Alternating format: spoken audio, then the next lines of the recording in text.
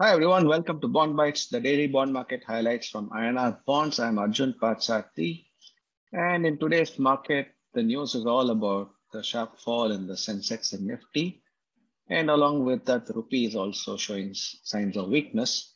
The only uh, stable and firm uh, part of this market is the government bonds. The G-Sec yields have been steady as markets await RBI policy coming up in December Equities are falling largely on the back of increasing COVID cases in Europe that is prompting shutdown in countries like Austria, which could spread to other countries as well.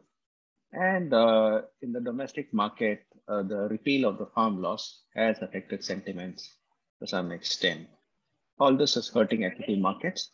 And also the markets is starting to, all the markets are starting to worry about Fed rate hikes sooner than expected given that US inflation is rising and rising sharply and doesn't look to be coming down soon. With all this, there are a lot of uh, issues uh, for, uh, for equity markets. The rupee is also showing some signs as uh, when equities fall, the markets worry about portfolio outflows.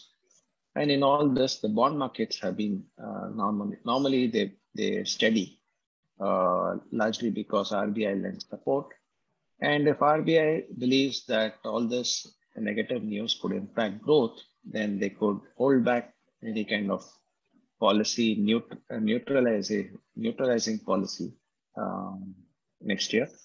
But um, having said that, I think it will be largely determined by inflation and what RBI believes in financial stability, financial market stability. And if it warrants tightening of policy, then I think they will start to tightening policy sooner than expected. We'll have to wait and see.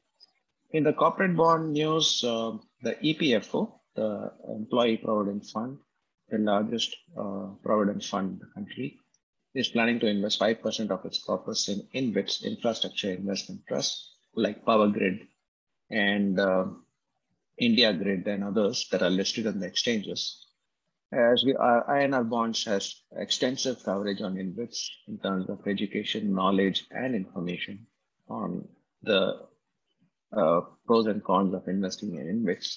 And all of you can come to INR Bonds to check out everything about InvITs and, um, and take an investment decision accordingly. On the other corporate bond news, uh, Microfinance, uh, which is a subsidiary of the gold loan company, Muthoot Finance has um, saw its rating upgraded uh, by India Ratings, and this was a positive sign.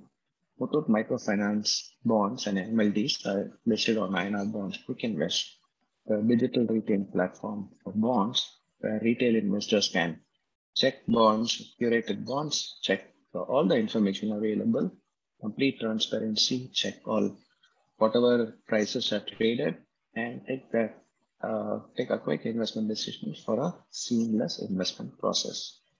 Thank you very much for listening in and to access Quick Invest, go to the description below.